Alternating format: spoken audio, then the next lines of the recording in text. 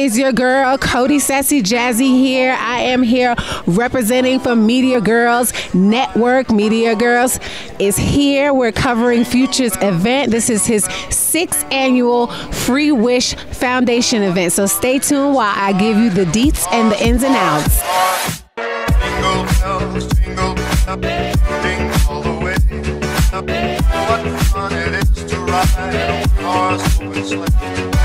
I think we've been blessed in, to be in the position that we're in, and it's our duty to come and give back.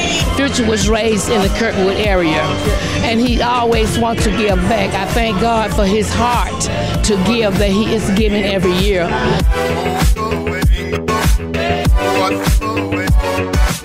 So when they come here, they just don't never know what to expect. We always have some goodies for them. Like today, we have bikes and we have some scooters. We have hoodies that we're going to give away that say, I am a dreamer, because you know, we believe that we all are dreamers. the fields we go, laughing all the way. on bobtail ring, making our spirits bright. What fun it is to ride and sing a sleighing song tonight.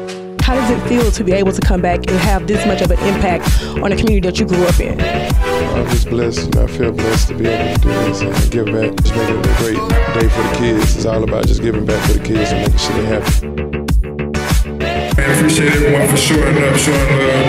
The whole Freewishes staff, everyone for doing a great job. It was amazing. Thank y'all for showing up again. Love.